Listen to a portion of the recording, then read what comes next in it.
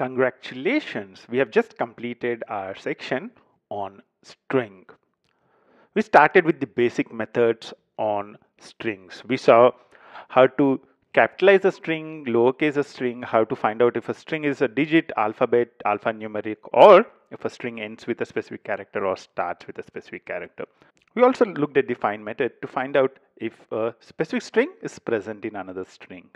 We looked at the conversion between different data types and string. We looked at conversions between strings and boolean, strings and int, strings and float. We also understood the fact that a string is a set of characters and we looked at how to use the for loop to loop around the string and print the set of characters which are present in a string. We also understood the fact that there is no data type called character in Python. Even a single character is of a type str string.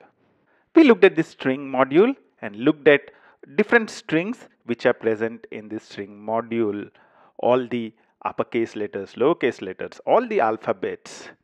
We looked at digits and the punctuation stuff. After that, we looked at the in operator. In is like a substring operator. It checks whether a specific string is present as a substring is in another string. We use the in operator to check whether a string is vowel or a string is consonant. We also looked at a few exercises to print all the uppercase alphabets line by line. We looked at an exercise to print lowercase alphabets line by line. In the last step, we looked at how to split a string using spaces or how to split a string which contains new lines using split lines.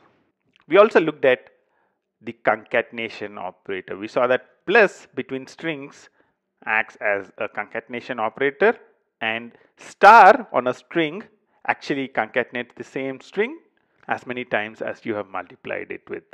So if a into 10 becomes 10 a's. We also looked at how to compare the content of a string which is done by using the is equal to is equal to operator. All these things you have learned about strings would be very useful in your programming career because strings and text forms bulk of what you would be processing in your programs.